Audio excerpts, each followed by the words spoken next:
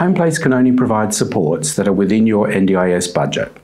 If you want more support than your NDIS funding can pay for, please follow these steps. First, talk to your Homeplace Senior Coordinator.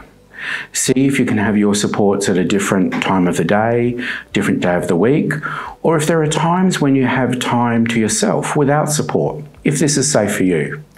Fees are different depending on the time of day and the day of support. There may be ways of adjusting your roster of care or support arrangements to enable you to receive more support from within your NDIS budget.